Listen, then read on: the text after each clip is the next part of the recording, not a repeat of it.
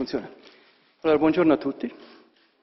Come dele- sono Laurence Jolles, il delegato dell'UNHCR, l'Alto Commissariato per i Rifugiati, responsabile per l'Italia e il Sud Europa. Allora, prima di tutto ho il grande onore di ringraziare il Presidente del Consiglio Matteo Renzi per averci ospitato qui, aver- averci dato questa, questa stanza e per la sua disponibilità, che dimostra con questo di nuovo un grande impegno, un grande impegno dell'Italia a favore dei rifugiati, un impegno che abbiamo sempre apprezzato e valorizzato in questi ultimi anni.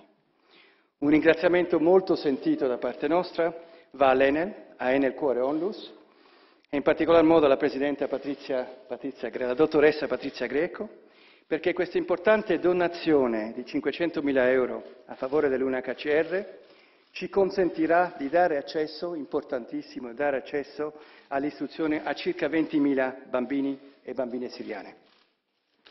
Il sostegno del settore privato, e oggi in particolare di Enel, è essenziale per affrontare la crisi umanitaria in corso senza precedenti, una crisi generata prevalentemente dal conflitto siriano. La guerra in Siria ha costretto ad oggi oltre 11 milioni, un grandissimo numero, 11 milioni di persone a lasciare le proprie case e di queste 7,5 milioni, 7 milioni e mezzo sono sfollati interni, quindi gente all'interno ancora della Siria, che però ha dovuto abbandonare le loro case, e, di, e, e, 4, e più di 4 milioni rifugiati, principalmente in Lib- Libano, Giordania e Turchia, gente quindi che è uscita, che è dovuta uscire dal paese. Basti pensare che il Libano è un paese di circa 4 milioni di abitanti e ospita 1 milione, 1 milione,1 eh, di rifugiati, persone che hanno bisogno quindi di assistenza umanitaria, ma prolungandosi la permanenza hanno bisogno anche di scuole e assistenza medica. Nell'ultimo anno, dato il peggioramento delle condizioni di accoglienza nei paesi limitrofi, si sono intensificati, e lo sappiamo tutti, l'abbiamo visto in televisione tutti i giorni, gli arrivi anche in Europa, dove nel gennaio del 2015 sono arrivate già più di 900.000 persone. Di questi 51% è costituito da donne, uomini e bambini siriani. Le risorse stanziate attraverso l'UNHCR per la crisi in Siria al momento coprono solo il 37% del fabbisogno dell'operazione. E proprio alla luce di questo scenario, Ban Ki-moon, segretario generale delle Nazioni Unite, ha lanciato un appello alle aziende di questa direzione nel, nel, nel, nel, corso del forum del settore privato ospitato a New York il 26 settembre del 2015 e in particolare il segretario generale si è rivolto alle aziende che avendo aderito al Global Compact hanno già dimostrato di impegnarsi in un percorso di responsabilità sociale con l'obiettivo di invitarle a dare una risposta tempestiva, concreta e solidale a quanti fuggono da guerra e persecuzioni. Il Global Compact, su proposta del segretario generale, in partenariato con l'Alto Commissariato delle Nazioni Unite per i Rifugiati, ha lanciato un impegno ad agire rivolto al mondo dell'imprenditoria. Molte aziende hanno risposto all'appello a livello internazionale sostenendo direttamente l'UNHCR. L'Enel, una delle prime aziende italiane ad aver aderito al Global Compact, è l'unica azienda italiana il cui amministratore delegato siede all'interno del CDA del Global Compact, è stata anche la prima azienda in Italia a rispondere all'appello di Ban Ki-moon, con una donazione importante al progetto UNHCR Educate a Child, con la quale sarà possibile dare accesso all'istruzione, l'istruzione primaria a circa 20.000 bambini e bambine in Siria. La Siria è un paese che prima dell'inizio della guerra era un'eccellenza in tutto il Medio Oriente in ambito educativo. Dal 2011 ad oggi purtroppo ha assistito a una diminuzione del 38% di iscrizioni, iscrizioni di bambini e sono infatti 2,4 milioni di bambini che hanno abbandonato la scuola in questi ultimi cinque anni, 2 milioni di bambini siriani, vuol dire quasi un, una grande parte diciamo, di, una, di una totale generazione di bambini siriani. Con il portarsi e l'aggravarsi del conflitto, la situazione degli sfollati interni siriani è infatti drammaticamente peggiorata, soprattutto per i bambini. Molti di questi bambini, che erano iscritti a scuola, sono stati costretti ad abbandonare e a muoversi in aree più sicure per motivi di sicurezza.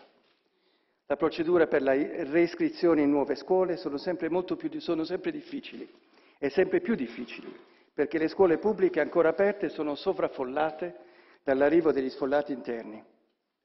Molte volte non viene permessa l'iscrizione per mancanza di riconoscimento dei percorsi scolastici frequentati dai bambini negli anni precedenti e si aggiunga a tutto ciò che la discriminazione sociale nei confronti dei bambini provenienti da altre aree del Paese è purtroppo molto presente. In questo difficile contesto, l'UNHCR si è posta l'obiettivo di garantire l'accesso all'istruzione primaria. Siamo fermamente convinti che la scuola rappresenti per i bambini una risorsa importantissima per proteggere loro stessi e le loro famiglie dallo sfruttamento, ma per sostenerli anche nella costruzione del loro progetto di vita. Inoltre, nel breve e medio termine, la possibilità di accedere all'istruzione restituisce ai bambini e restituisce ai bambini vulnerabili eh, dal conflitto un senso di normalità. Con la sua preziosa donazione, l'Enel garantirà l'accesso all'istruzione a oltre 20.000 bambini, bambini rifugiati attraverso cinque attività principali. La costruzione e il recupero di edifici scolastici, il sostegno economico diretto alle famiglie, i corsi intensivi di un anno per permettere ai bambini di recuperare gli anni persi a causa della guerra, e questa è la cosa principale, organizzazioni di sessioni di counseling ed orientamento sull'accesso all'istruzione, e la quinta è la formazione di docenti per trasferire loro le competenze adeguate per insegnare ai bambini vulnerabili in classi sovraffollate. È importante sottolineare che la mancanza di accesso all'istruzione viene annoverata tra i sette fattori principali che inducono le famiglie siriane a rischiare ad affrontare il pericoloso viaggio verso l'Europa, non potendo garantire ai propri figli un futuro all'interno del paese, del proprio paese. Per questo dare accesso all'istruzione è una delle priorità dell'HCR in questa situazione. Serve uno sforzo congiunto da parte di tutti, governi, settore privato e cittadini, per per rispondere a questa crisi epocale e l'assenza dei finanziamenti resta ancora uno dei nodi irrisolti. Senza un investimento ulteriore continuerà la spinta a partire. Le migliaia di rifugiati in movimento stanno fuggendo soprattutto per evitare le persecuzioni, l'insicurezza e le conseguenze della guerra civile. Il momento storico che stiamo vivendo lo descriverei come un momento decisivo per l'Europa, per la società nel suo insieme per le organizzazioni internazionali e ultimo, ma non meno importante, per i rifugiati che cercano di raggiungere non solo la sicurezza, ma un luogo in cui possono iniziare il difficile compito di ricostruire le loro vite. L'Europa ha la capacità e le competenze per gestire con successo tale fenomeno, anche se molto difficile.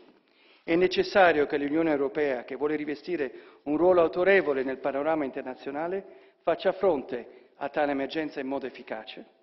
La sfida per trovare e mettere in atto le soluzioni è stata lanciata, non usciamone sconfitti, perché rischiamo di perdere qualcosa di fondamentale e inestimabile, i nostri valori più profondi, che ci identificano, che dicono al mondo chi siamo, in che cosa crediamo, e questa sarebbe la sconfitta peggiore.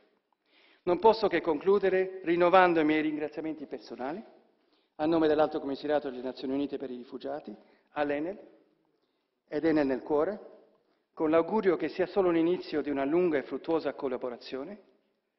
Ci auguriamo anche che altre aziende italiane vogliano seguire l'esempio e vogliano rispondere all'appello del Segretario Generale delle Nazioni Unite, unendosi ad uno sforzo di solidarietà che ci auguriamo continui ad essere intrapreso anche dai governi in linea con quanto già intrapreso dall'Italia. Ringrazio tutti i presenti per l'attenzione, rinnovo il mio, il, miei, il mio ringraziamento al Presidente del Consiglio Matteo Renzi per la sua presenza e per l'ospitalità in questa importante occasione. Grazie.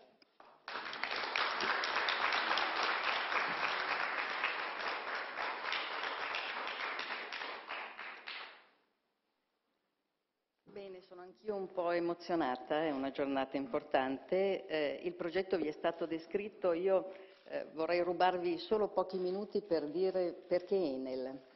Enel non vive la sostenibilità come un insieme di dati che alla fine dell'anno costituiscono il Sustainability Report.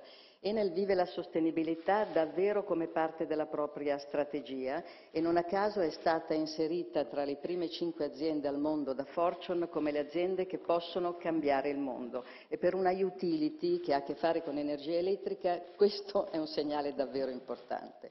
Allora, nel nostro approccio alla sostenibilità fondamentale è eh, il contributo che noi possiamo dare alle nuove generazioni, perché non c'è sostenibilità senza nuove generazioni. Da questo punto di vista noi abbiamo lanciato il progetto Fare Scuola quest'anno, per cui nel nostro Paese, dove purtroppo esistono situazioni di carenze anche da noi, nel nostro Paese interverremo sul rifacimento diciamo, del, di aule per la didattica in circa 60 scuole, portiamo il progetto Play Energy in giro per il mondo nei paesi in cui siamo eh, presenti, abbiamo toccato quest'anno 450.000 ragazzi, portiamo l'elettricità nei paesi, per esempio in Kenya o nei paesi del Sud America, perché peraltro talvolta ci dimentichiamo che senza la luce non si può studiare e quindi è difficile parlare di educazione e formazione.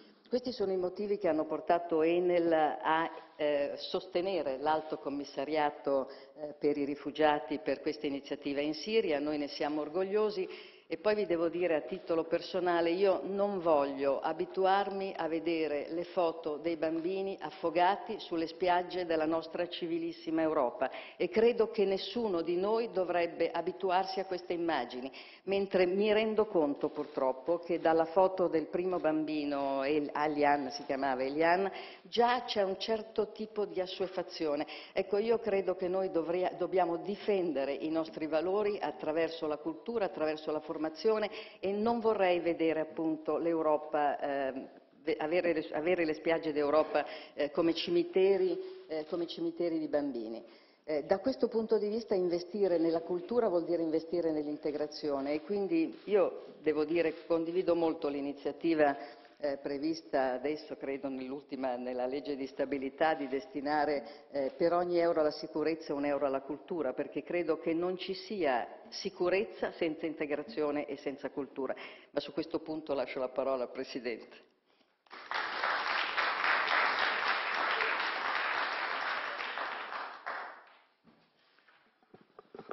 Eh, buongiorno a tutti, sono davvero grato a, ad Enel per aver associato Palazzo Chigi a questa eh, occasione di presentazione del progetto. Loro hanno ringraziato, ma sono io che ringrazio a nome di, eh, del governo e a nome dell'Italia.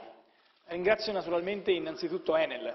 Mm, Patrizia Grieco è la Presidente, svolge un lavoro straordinario in eh, tandem con l'amministratore delegato Francesco Starace, stanno eh, continuando a costruire un'azienda sempre più forte, eh, sentirete sempre più parlare di Enel nel mondo e sarà, orgoglioso, sarà, orgoglio, sarà un motivo di orgoglio per noi eh, continuare a vedere i risultati che abbiamo visto sulle Ande eh, o che abbiamo visto in Africa.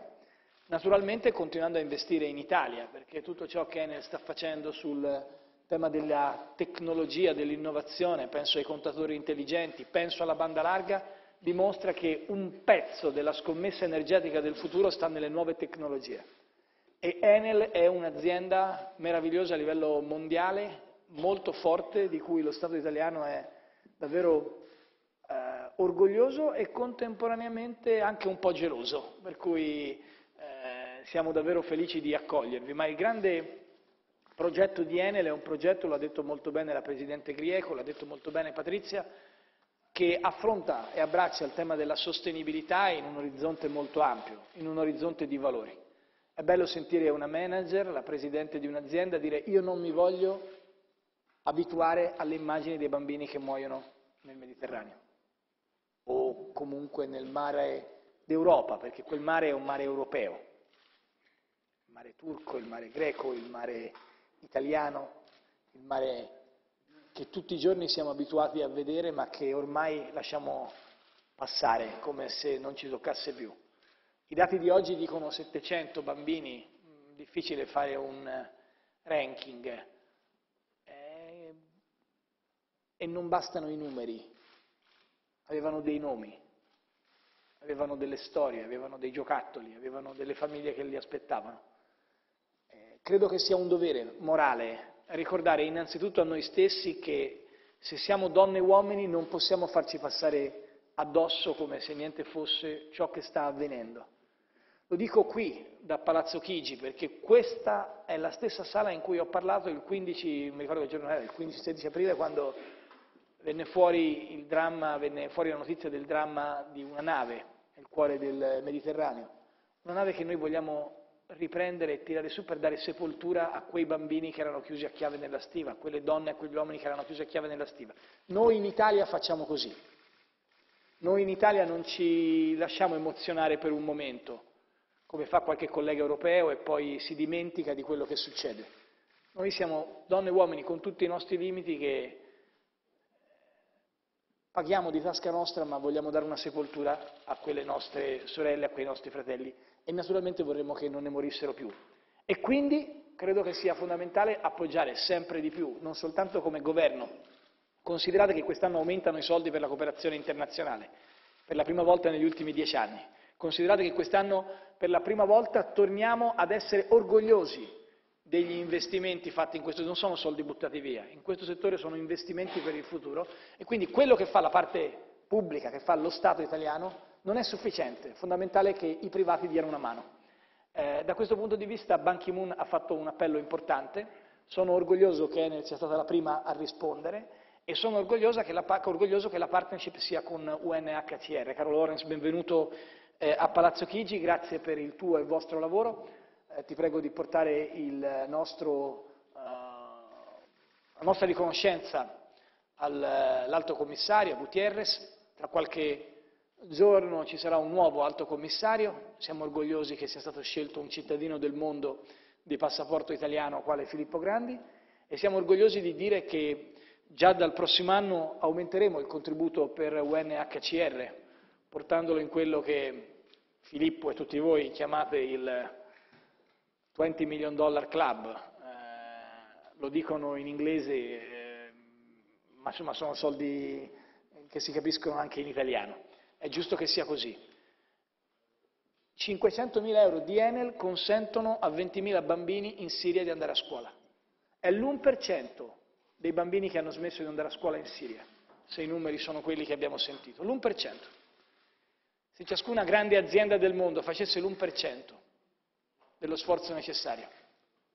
E se ciascuno di noi capisse che questi denari che Enel investe, come li investe a Ollague, che è un piccolo paesino sulla cordigliera tra Perù e, e scusa, tra Cile e Bolivia, dove si insegna alle donne a utilizzare i pannelli fotovoltaici, è una cosa meravigliosa, c'è un video di Enel eh, che vi suggerisco di andare a guardare. Se ciascuno facesse quel pezzettino di, di, di strada sarebbe davvero più facile combattere l'ingiustizia e l'assurdità di ciò che stiamo vivendo perché con le reazioni a caldo, con le reazioni di pancia, si occupano i titoli dei giornali.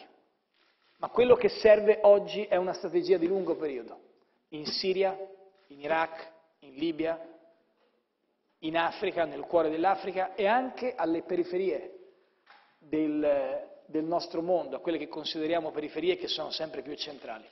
Ieri ho avuto la fortuna di cenare con un uomo eh, straordinario, quale il re di Giordania, sua moglie, la regina Rania. Nel pomeriggio vedremo, eh, lì, tornerò a incontrare Sua Maestà durante un incontro organizzato dal nostro Ministero degli Esteri. Si parla tanto di tante realtà, ma in Giordania, la seconda città della Giordania è città, un campo profughi, un milione e mezzo di persone. Voglio che vada da qui oggi il nostro abbraccio affettuoso ai militari italiani che sono in Libano, ma soprattutto l'abbraccio è un abbraccio che porto a nome di tutto il Paese a queste donne e a questi uomini che aiutano a riportare e a conservare più correttamente la pace. Ma quella è un'altra regione di cui non si parla, che è una regione in cui il numero dei rifugiati è impressionante. Bene, tutto questo mi porta a dire che l'Italia, dal giorno dopo quella conferenza stampa in questa sala, ha lavorato duramente perché il tema nost- delle nostre sorelle e dei nostri fratelli rifugiati potesse essere un tema europeo e mondiale. qualcosa si è mosso, non ancora a sufficienza, l'Europa non sta facendo tutto quello che deve fare. Noi abbiamo iniziato il nostro lavoro, abbiamo aperto gli hotspot, il primo a Lampedusa, il secondo annunciato dal Ministro Alfano, il terzo lo annuncerò la settimana prossima al Consiglio europeo. Abbiamo cinque hotspot da realizzare, li realizzeremo tutti e cinque. Non è partito ancora il processo di relocation come avremmo voluto che partisse, non è ancora matura la consapevolezza che questo tema è un tema sul quale l'Italia non ha bisogno di un aiuto dall'Europa, è l'Europa che ha bisogno di capire se vuole essere se stessa o vuole tradire i propri ideali. Noi possiamo fare anche senza l'Europa. È l'Europa che non può fare senza se stessa, che non può perdere la propria dignità e il proprio ideale. E non basta lavarsi la coscienza dando un po' di soldi a qualche paese. Occorre avere l'intelligenza di capire che un bambino che va a scuola significa che l'Europa vince la propria sfida, perché la nostra sfida non è tanto su misure economiche, ma sul fatto di essere una comunità di donne e uomini e non soltanto un insieme di codici fiscali. Per questi motivi voglio dire all'UNHCR che ci siamo, che l'Italia farà la sua parte, voglio dire a Enel che siamo orgogliosi di come sta lavorando il management e tutta la grande famiglia di Enel, voglio dire che mandare un bambino a scuola è la cosa più bella e più grande e più giusta che si possa fare nel mondo, Voglio dire che l'Italia non farà mancare i propri sforzi sul piano della sicurezza militare, diplomatica, nelle prossime ore un importante appuntamento a Roma sulla Libia. Noi facciamo la nostra parte da grande paese, da grande potenza quale siamo, ma contemporaneamente pensiamo, lo ha detto Patrizia e io lo ribadisco, che per ogni centesimo investito in sicurezza occorre un centesimo investito in educazione, per ogni centesimo investito in polizia occorre un centesimo investito in cultura. Per ogni telecamera che ci rende più sicuri abbiamo bisogno di un teatro che ci renda più liberi. E per ogni investimento che facciamo sulle porte blindate, noi stiamo studiando dei meccanismi molto semplici di defiscalizzazione per chi vuole prendere una porta blindata, perché è giusto che chi ha bisogno di sentirsi più sicuro possa farlo. Ci sia però la possibilità di spalancare la propria mente nei musei, nei teatri, nei cinema. Questa è l'Italia. E con buona pace di tante polemiche europee siamo orgogliosi di fare così. Noi in Italia facciamo in un modo diverso da quello di altri paesi, che strillano il giorno dopo la tragedia e poi si nascondono. La tragedia è tutti i giorni. E il fatto che noi non stiamo dando un nome ai bambini che sono morti ieri non significa che quei bambini non sono morti e quindi c'è bisogno di fare di tutto, tutti insieme, per andare in questa direzione. Quindi, caro Lorenz, grazie di cuore, ho l'impressione che l'UNHCR sarà sempre di più di casa, ma lo è già in Italia eh, e noi siamo molto orgogliosi di tutto ciò. Eh, grazie Patrizia per il lavoro di Enel, invito eh, per quanto di mia competenza, adesso Filippo mi sgrida, ma la stampa a dare grande attenzione al lavoro costante, quotidiano sui temi della cooperazione che fa la Farnesina sicuramente, ma che fanno anche le nostre aziende private e se volete prendiamo due domande, magari almeno una fatela sul tema della conferenza stampa, almeno una, cioè una.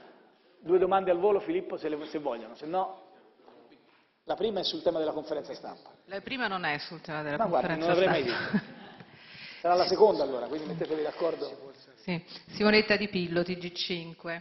Eh, volevo sapere come pensa il governo di sostenere azionisti e obbligazionisti per il caso delle banche, abbiamo anche un caso drammatico di suicidio, eh, cosa intende fare se da Bruxelles dovesse arrivare eh, il no definitivo per la bad bank? E mh, se il governo ha già pensato a delle misure per il futuro per evitare che accadano di nuovo casi simili. Il mondo delle banche è un sistema molto complicato, un mondo molto complicato, mm, posso dirla così con una certa dose di, di sintesi. Eh, in Italia ci sono tante banche, la stragrande maggioranza sono solide, sono ben governate, ma ci sono più banche che nel resto d'Europa. Noi dobbiamo favorire un processo in cui le banche piccoline si mettono insieme. Questo vuol dire qualche poltrona in meno per i consigli di amministrazione, qualche direttore generale in meno delle banche, qualche potere territoriale in meno e un sistema un pochino più solido. Questo lavoro andava fatto dieci anni fa, non oggi. Lo stiamo facendo oggi perché negli ultimi dieci anni non è stato fatto. Va in questa direzione il decreto sulle banche popolari che ha fatto questo governo lo scorso gennaio, va in questa direzione il provvedimento sul quale stiamo lavorando con eh, le banche di credito cooperativo, va in questa direzione tutto lo sforzo che il governo ha fatto, può fare e potrà fare. Le regole delle banche adesso le decide l'Europa. Fino a dieci anni fa non era così. E molti paesi hanno messo un sacco di denari pubblici per salvare le banche. Do un numero. La Germania ha salvato le proprie banche con 247 miliardi di euro. Le dico, l'Italia non ha messo denaro pubblico. È stata una scelta dei precedenti governi. Fatto sta che oggi le regole sono cambiate, sono cambiate a livello europeo, noi anche se volessimo non potremmo più fare come è stato fatto in passato da altri paesi. Il nostro sistema è comunque più solido, io per esempio non ho alcuna difficoltà nel dirle che il sistema bancario italiano, a mio avviso, e non soltanto a mio, è più solido di quello tedesco, ad esempio, nonostante tutti questi denari che sono stati messi. È oggettivamente più solido di quello tedesco, ma alcune realtà avevano bisogno, lo abbiamo visto, di interventi immediati. Cosa ha fatto il governo italiano? Quando si è capito che quattro banche, le quattro banche di cui lei ha parlato nella sua domanda, rischiavano di non aprire più, rischiavano di chiudere, perdendo quindi tutti i posti di lavoro. E non, degli, non le azioni, ma i soldi dei conti corrente, noi siamo intervenuti.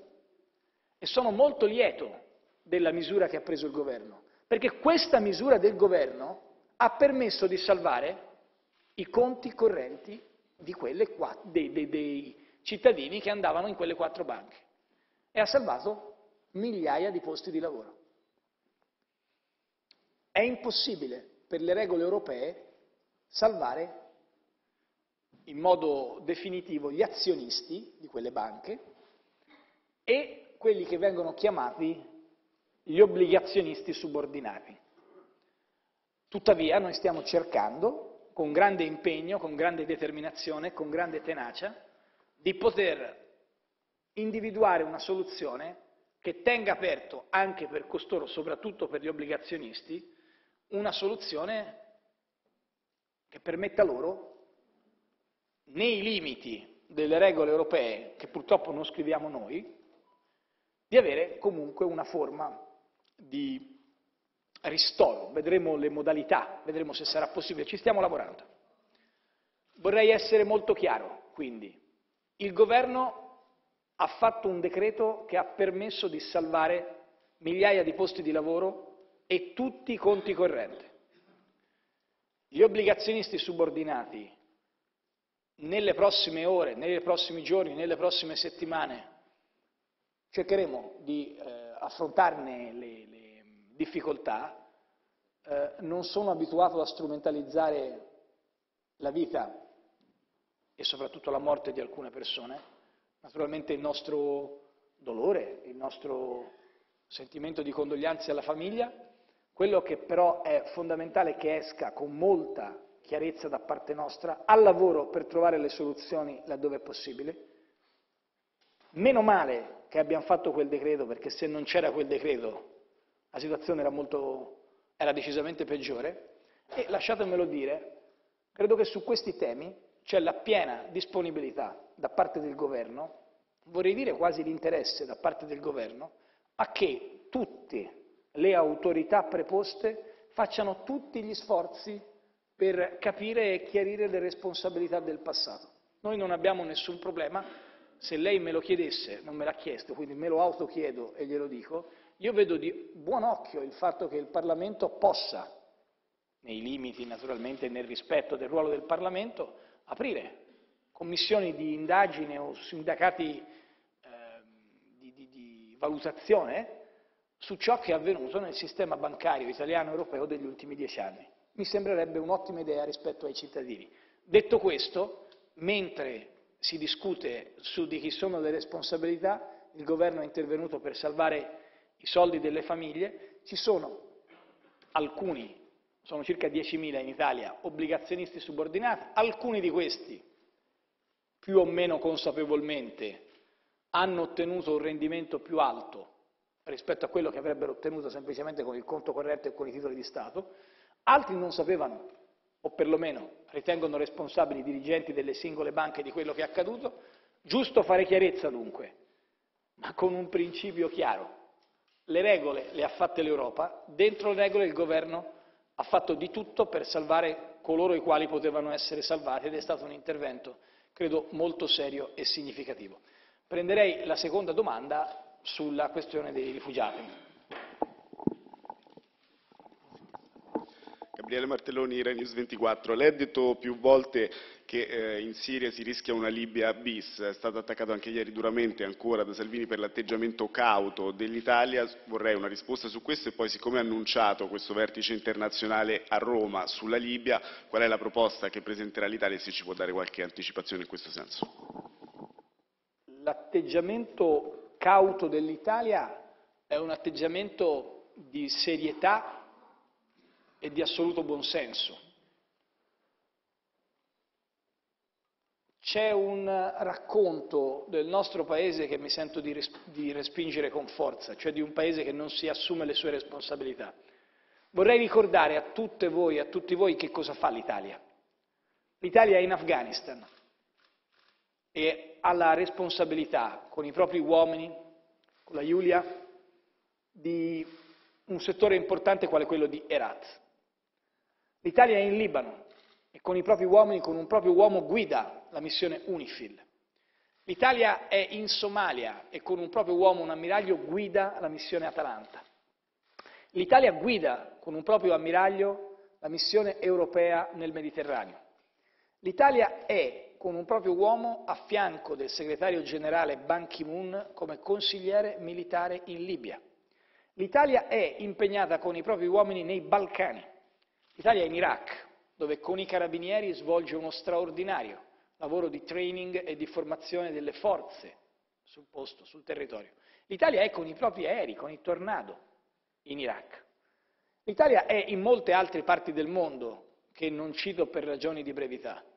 L'Italia è il paese al mondo, dopo gli Stati Uniti naturalmente, e al fianco della Francia, con il maggior numero di mezzi all'estero, tra i paesi della diciamo, comunità occidentale. Questo fa l'Italia. Siamo pronti a intervenire dove è necessario in un quadro di accordo e di condivisione da parte dell'intera comunità internazionale se ce ne saranno le necessità e le condizioni. Ma non siamo d'accordo nel intervenire senza una strategia per il dopo, perché abbiamo visto ciò che è accaduto in Libia dove da quattro anni la situazione è sostanzialmente impantanata perché l'intervento si è preoccupato dell'istante e non della strategia. Questo è il motivo per cui con grande serietà e responsabilità un Presidente del Consiglio non gioca a risico per far contenti i commentatori o la platea dei propri amici. Il Presidente del Consiglio chiede che ci sia un disegno strategico nostro, in cui impiegare il nostro Paese. È per questo che l'Italia è tornata nei tavoli diplomatici che contavano, da cui era uscita. L'accordo sull'Iran è stato un accordo siglato da 5 più 1, dai cinque paesi del Consiglio di sicurezza e dalla Germania, senza l'Italia, perché allora il governo non fu invitato. Noi abbiamo ripreso quel tavolo, lo abbiamo allargato, ci siamo dentro anche noi, stiamo a Vienna, nella stessa città, discutendo di Siria. E, d'accordo innanzitutto con i nostri amici americani, con il segretario John Kerry, cui va la mia personale gratitudine e quella del governo, oltre che quella del ministro degli esteri Gentiloni, abbiamo deciso di ospitare a Roma un'iniziativa sulla Libia, perché il format Vienna per la Siria sia, con le dovute modifiche, replicato sulla Libia. Questo è lo scenario nel quale noi ci muoviamo. Accanto a questo però, e concludo, vorrei che fosse chiaro, che non basta annunciare un impegno diplomatico e realizzarlo, annunciare un impegno militare. C'è la necessità fortissima di intervenire sulle cause profonde delle tensioni che noi stiamo vivendo, a livello diplomatico innanzitutto, ma anche nelle nostre città, nelle nostre città europee. Ormai è quasi un mese dagli eventi di Parigi, è trascorso quasi un mese. Non dimentichiamo che a Parigi, come era accaduto a Bruxelles, come era accaduto a Copenaghen, come era accaduto ancora prima sempre a Parigi con Charlie Hebdo, i terroristi erano cresciuti in Europa, nelle banlieue europee, nelle periferie europee. Questo non vuol dire che non abbiano con Daesh contatti e in alcuni casi anche legami molto profondi, ma significa dire che intervenire sulle nostre periferie, lavorare sulle scuole, lavorare sulle ragioni della nostra appartenenza è l'unica strada, l'alternativa al nichilismo dei terroristi. Non parlo di disagio sociale, attenzione, io non parlo di questo. Non pongo il tema semplicemente sulle condizioni economiche o di povertà, perché se è vero, è vero solo parzialmente.